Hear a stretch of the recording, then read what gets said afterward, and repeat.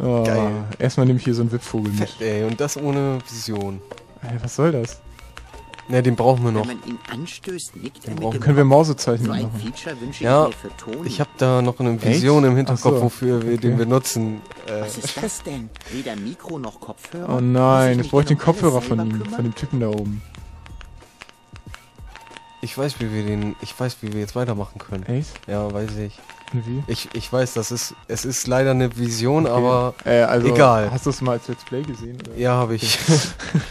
Dank Gronk weiß ich jetzt, wie Ah. es weitergeht. Und zwar, ähm, das ist aber auch, glaube ich, das Einzige, wo, wo ich mich dran erinnern kann. Nee, nicht hier hoch. Und zwar so. gehen wir auf, in das Büro des Bürgermeisters. Aber er hat doch die Kopfhörer. Ja, warte mal. Okay, okay. Die kriegst du auch gleich. Aber jetzt kriegst du sie noch nicht, weil er ja ähm, die noch benutzen muss. Oder benutzen kann, wie auch immer. Wir haben ja hier so einen lustigen Knopf. Und wenn wir da draufdrücken, Den? nein, Den? äh, den auf dem Schreibtisch. Ach Und wenn wir so da die draufdrücken, Klingel, ja. dann sagt ja, nee, nicht die Klingel. Da, ja, Gegensprechanlage oder wie das Ding heißt. Ja, das Ding meine ich. Wo war denn das nochmal? Stehst du gerade genau Ach so. davor. Da. Ah, da. Und dann sagt ja Lotti immer was. So. Und da musst du den Vogel ranpacken. Ah, okay, damit sie das immer wieder sagt. Ja. dann geht's ab. Gut, ne? ja, und das, das geht jetzt immer so weiter. Aber ich Und verstehe den Sinn nicht. ja, den Sinn erkennst du gleich. Geh mal zum Funker. Das ist so mega dumm. Ja, ist es auch. Ich meine, guck, der kriegt das mit. Der ist jetzt voll entnervt. Aber man muss den dazu kriegen, dass er, dass der ausrastet sozusagen, dass der seine, ja ist ja gut, dass er, Ja, rede einfach weiter. Hallo? Lass dich kurz, ich habe zu tun. so, Darf ich jetzt vielleicht die Kopfhörer haben? Ja. hm, ja, frag ihn mal. Darf ich jetzt vielleicht den Kopfhörer haben? Was? Nein, die brauche ich für meine Arbeit. Also, nerv nicht. Guck mal, er sieht jetzt auf jeden Fall schon anders aus als vor. Wir müssen ihn noch mehr nerven. Oder? Genau. Und wie ging das nochmal? Das war irgendwas mit den Tauben. Das war irgendwas mit den Tauben. Okay. Nicht mit einem Papagei, der ihn voll labert, oder? Oder Katzen, die... Doch, stimmt. Doch. Jetzt, wo du sagst, der Papagei. Ja, genau, der Papagei. Äh, kannst du den nochmal aufwecken? Kann ich den aufwecken? Mit, mit einem Espresso? Achso. Hey, Alter. du, aufwachen. Jetzt haben wir einen Lauf, ey. So ein, äh, so ein, den kannst du irgendwo hinsetzen hier. Ja, mal Der, gucken. der nervt, nervt ihn dann zu Tode, sozusagen. Aber Ah, wir haben hier gar nichts. doch, da rechts dieser, ähm, dieser Ast da. Drück mal Leertaste. Da kann man nicht hin. Scheiß. Vielleicht einfach auf ihn. Irgendwo hier muss man den, Einfach auf die Tür. Das würde dem Papagei wahrscheinlich gefallen. Kann er aber vergessen. irgendwo muss er hier hin. In den, Das Erdmagnetfeld hat hierauf keinen Einfluss. Und Leute vom Schlamm. Äh, aber das würde ja nur hier was bringen, oder nicht? irgendwo muss man den hinpacken. Nicht da bitte. Ah, da bin ich ja sogar von alleine drauf gekommen mit dem Papagei. Ohne deine Vision. Ja, stimmt. Äh, ja. hm. Das muss man dir lassen. Aber jetzt, jetzt müssen wir, glaube ich, irgendwas mit diesem blöden Erdmagnetfeld machen. Echt? Wir können ja jetzt selber Pakete verschicken, oder nicht? Also rein theoretisch. Nee. Wo geht's da hinten?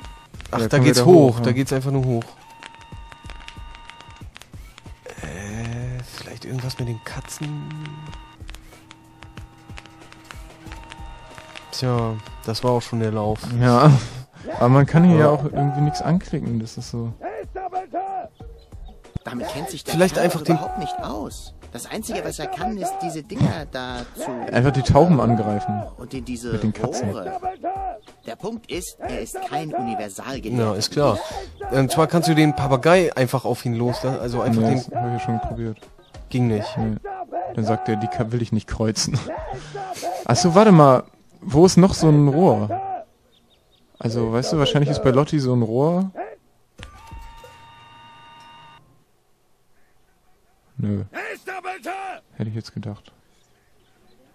Boah, ist das nervig, ey.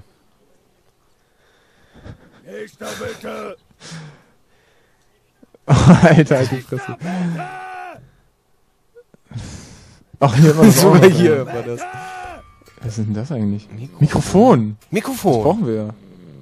Ich wusste gar nicht, dass die Stadt ein Mikro hat. Wahrscheinlich für diese ach so wichtigen Bürgerversammlungen, zu denen ich nie eingeladen Ja, werde. wem wundert. Also, äh, das können wir mal einpacken. Hoffentlich. Dann haben wir jetzt schon mal das. Cool. Äh, jetzt haben wir ein Mikrofon für die Fu äh, Funkanlage. Alter, was ich alles finde. Ein prima Andenken daran, wie ich Goal wach geküsst habe. Welche Rolle spielte dabei noch gleich der Trichter? Da hast du ihr was eingetrichtert. Jetzt haben wir den auch noch. Mm. Okay. Wir Äh, haben ja jetzt Mikro. mh, ich bring das einfach schon mal da oben an. Ja. Und jetzt brauchen wir nur noch die Kopfhörer. Und ich meine, man muss den Papagei da. Naja, das würde Da irgendwie. Sinn ergeben. Fehlt nur noch der Hörer.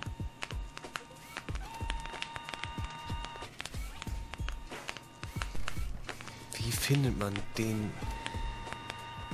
Ja, ich meine, wie, wie kriegt man den? Ja, ja, weil da oben einfach kein Platz ist, wo man den hintun kann, ne? Das verstehe ich nicht. Scheiße, mehr habe ich nicht mehr in Erinnerung. Ey, warte mal, den Roboter können wir. Ne, den können wir sowieso nicht anschnacken, ne? Nee, dann sagt er, ich lasse den lieber in Ruhe. Abgestürztes Was ist Paket. das bloß für eine Welt, in der man sich nicht mal mehr auf das Erdmagnetfeld verlassen kann? Hehehe. Warum ich so komisch rede? Weil sie neuerdings Sprachaufnahmen nach Worten berechnen, darum. What the fuck? Voll die Metaebene. Okay. Äh, man kann ja die Tauben auch nicht mehr anklicken. Das heißt, wir können mit den Tauben eigentlich gar nichts machen. Bringt uns das Erdmagnetfeld auch nichts. Hey! Vielleicht muss ich einfach nur noch mit dem reden. Ach du schon. Lass dich. Willst du einen Papagei haben? Darf ich jetzt... Was? Nee, das habe ich eben schon gemacht. Also, darf ich jetzt... Ups, Mann, Nochmal. mach die Arbeit. Die? Ich weiß auch nicht, was heute los ist. Irgendjemand billigt dir ständig eine Leitung. Ich komme kaum zur Ruhe.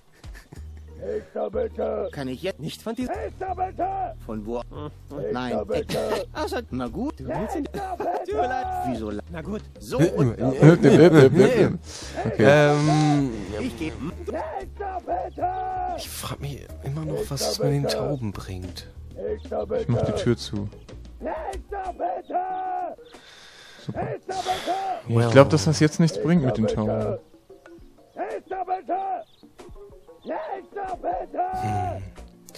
Ey, ich bin mir ziemlich sicher, der Papagei muss da hin. Ja, aber der kann dann irgendwo hin. Vielleicht muss er irgendwo anders hin. Vielleicht müssen wir da irgendwas anbringen, damit der da sein kann. Tonis letzter Therapeut war auch so ein schräger Vogel. Ja, das... Ja, wir haben irgendwie nichts. Das erinnert mich an Leck. Der Plan mit... Es war nur der falsche Tag.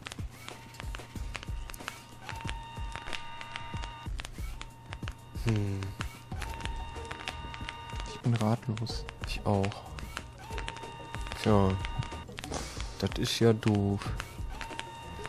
Mann, oh Mann, oh Mann. Nächster bitte. Nächster bitte. Und hier dieser nervige Roboter. Ähm, hier können wir, was können wir hier nochmal alles machen? Noch mit den Katzen. Wir haben hier Ersatzkatzen. Ja, aber was machen wir damit? Können wir die auf die to Tauben loslassen? Ja, habe ich auch schon geguckt. Man kann die Tauben nicht mal anklicken. Hm. Ich kann die ja mal austauschen. Au! Sie wollen da wohl nicht mehr rein. Sind die nicht putzig? Ich quäle keine Tiere und im...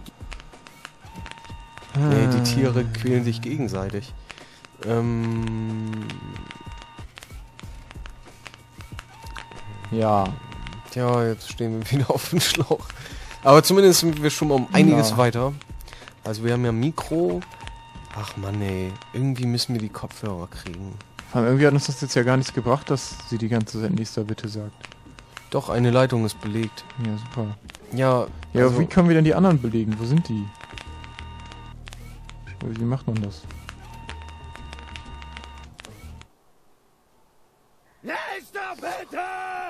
Wenn man hier so auch so ein Rohr sehen würde, dann würde, würde man einfach irgendwo anders hingehen, wo noch so ein Rohr ist. und noch mehr Schaden. Hier ist ein Fernschreiber. Diese Technik. Den können Hier wir ist auch noch eine belegen. Nachricht vom Bürger. Oh, entweder diese Technik. Mann, Oh, oh, I see you. Ah, Ein Idiot oder so. Idiotie oder so. Ja, genau. Was ist denn das? Achso. Nächster bitte. Nächster bitte. Nächster bitte. Ah, ah, ich habe eine Vision. Ich kann einen Zaubertrick. Bumm. Entschuldigung. Ah, mein Kopfhörer fallen rein. Ich bin sehr gespannt. Ja, was ich für eine Vision habe. Ja. Also die ist ganz Vor verrückt. allen Dingen, weil ich sie ja auch nicht kenne. äh, also die Vision war irgendwie auch gerechtfertigt. Da wären wir, glaube ich, nie drauf gekommen mal wieder. ja, das ist es wohl wahr. Und zwar, äh, der Papagei, da hattest du natürlich recht, dass wir den brauchen. Aber der redet ja gar nicht. Darum müssen wir ihm erstmal was beibringen. Und wer redet viel? Die gute alte Toni. Die Tony! Hier, ein Papagei. Hey Toni, ich habe ein Geschenk für dich. Jetzt kommt. Da ist ja sogar so eine Dir Stange. nicht gesagt, du sollst keine Tiere in meinen Laden bringen? Ich dachte, das gilt nur für Ratten und Insekten. Und? Und Wasserbüffel. Aber dieser Papagei hier ist ganz anders. Er ist klug, reinlich, macht nichts kaputt und Läuse hat er auch nicht. Wow, er ist das genaue Gegenteil von dir. Sehr witzig, Toni. Ich dachte nur, du könntest einen Zuhälter, äh, Zuhörer gebrauchen, damit du mal jemand anderen zutexten kannst. Das stand da gar nicht. Wenigstens rede ich dann nicht mehr gegen eine Wand. Sehr witzig, Toni. Er gefällt mir. Kein Wunder, er klingt genau wie deine Mutter. Und eine gewisse äußerliche Ähnlichkeit ist auch vorhanden. Raus. Raus! Oh, herrlich, ey. Das Spiel. Die, die, die Dialoge, ey. Hätte ich nur auf meine Mutter gehört. Nimm dich vor ihm in Acht, Toni. Der Kerl ist ein egoistischer Idiot. Der Kerl ist ein egoistischer Idiot. Wart nur, bis du ihn richtig in Aktion siehst. Gerade erst letzte Woche hat er den Friedhofsrasenmäher mit Sprühsahne betankt. Idiot. Idiot. Der arme Vogel. Nicht mehr lange und er wird sich zu den Minengasen zurücksehnen. Okay, reicht das jetzt oder was? Du könntest einen Zuhälter gebrauchen. Und dann hat Rufus die Bienen einzeln mit Frittierfett bestrichen, nur um... Warte mal, da ist er schon wieder. Wir reden gleich weiter, okay? Ich will nicht, dass er hier unbeobachtet rumlungert. Arme Toni. Hallo, Rufus. Danke nochmal für den Papagei. Rufus ist ein Nichtsnutz. Er ist so ein kluges Tier. Ähm, ja, ich nehme den leider wieder mit. Was tust du? Ich nehme ihn wieder mit. Du übst einen schlechten Einfluss auf ihn aus. Ach, tu das. Ich bin sowieso schon heiser. Und diese ganzen Geschichten zu erzählen macht mich irgendwie depressiv. Das sind alles Lügen, hörst du? Rufus hat Hannes Vogel geklaut. Alles Lügen. Ähm, ich glaube, da wären wir vielleicht noch drauf gekommen, wegen dieser Stange. Ja, stimmt. Aber das, was man jetzt machen muss, da wären wir, glaube ich, nicht drauf gekommen. Denn wir haben ja diese wunderschöne Notrufsäule, wo wir nun den Vogel irgendwie vorsetzen. Was macht er? Hallo? Achso. Ja, es dauert immer. Da hast du auch so eine Stange neben, aber da wäre ich nie drauf gekommen. Inspektor Gizmo zu Ihren Diensten. Sie haben einen Notfall zu melden? Rufus hat die Schrauben vom Kinderkarussell geklaut. Rufus, das hätte ich mir eigentlich denken können. Was wissen Sie noch? Rufus hat die Kernschmelze im Zugreaktor erzeugt. Rufus hat die Antenne von Frau Henkels Traktor geklaut. Etwas langsamer bitte. Ich komme gar nicht mit. Können Sie das nochmal wiederholen? Na, ob das so Ja, das- war? Ich mir auch gerade gefragt.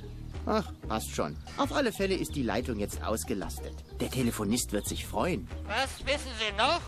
Rufus hat die alte Maschine missbraucht, um Schindeln vom Rathausdach zu stehlen. Der nächste bitte. Jetzt sind zwei Leitungen belegt. Das müsste ja bereichen. Hoffentlich rastet er jetzt aus. Hallo. Hey, Kuhu. Hallo. Du schon wieder. Lass dich kurz. Ich habe zu tun. Ja, jetzt frage ich, ob ich die Kopfhörer haben kann, oder? Darf ich jetzt vielleicht den Kopfhörer haben? Was? Brauche ich für meine Arbeit. Das heißt, noch eine Leitung. Noch eine muss belegt werden. Bist du nicht mal müde? Wirst du nicht mal müde? Ich muss zugeben, so langsam habe ich die Nase voll. Wenn da unten noch einer auf Ah. die Idee kommt, auf Dauerfunk zu stellen, ist bei mir der Sack zu. Oh Gott, wo kriegen wir denn noch was her? Wo gibt's denn noch eine... Du solltest... Sehe ich genau. Wo, wo gibt's denn noch eine Notrufsäule? Oder wo, wo gibt's noch sowas? Nächster bitte. Automat? Gab's nicht sowas noch, vor- ähm, wo der Stier war?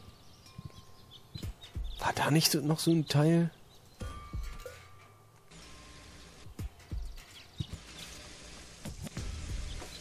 Boah, wie es hier Nee. aussieht, ey. wir haben alles kaputt gemacht. Ja, Oder hier in diesem... Hier irgendwie? Hier können wir die ganze Zeit klingeln. ja, Nee. Ups.